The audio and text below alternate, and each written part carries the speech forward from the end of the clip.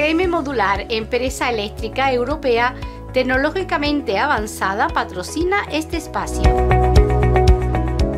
Bueno, hemos hablado con algunos empresarios que ya asisten a esta cita, están aquí en la inauguración y ellos, bueno, pues como grandes empresarios, pues están acostumbrados a mirar decoración, arquitecto, habéis montado, desmontado, negocio, estáis muy acostumbrados, Noelia, cuéntame cómo ves esta... Así es, parte de nuestro trabajo, ¿no? Siempre montando, desmontando, mirando la moda, pero es un todo, ¿no? Todos los negocios también tienen que estar siempre eh, hechos a la moda de la arquitectura, ¿no? De lo que se lleva, este tipo de silla, este tipo de paneles, todo. Entonces nos, nos incumbe, claro que sí.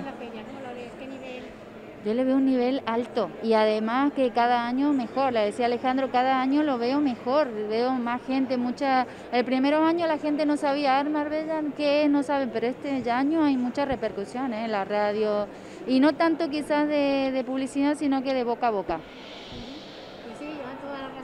hace muchísimo también, Fran, como también como empresario y como también un ciudadano más de Marbella, que te consideramos así, porque tú más también Marbella, como Noelia, Humberto, todos, amamos Marbella, ¿no? Aquí faltaría un poco la canción, ¿no? alguna vez hay que ponerla, pero bueno, no, pasa nada. Que yo soy ciudadano marbellí, por si no lo sabíais, ¿eh? que yo aunque esté aquí, esté en Madrid, pero yo soy de aquí y mi carnet sigue aquí, o sea, eso sí.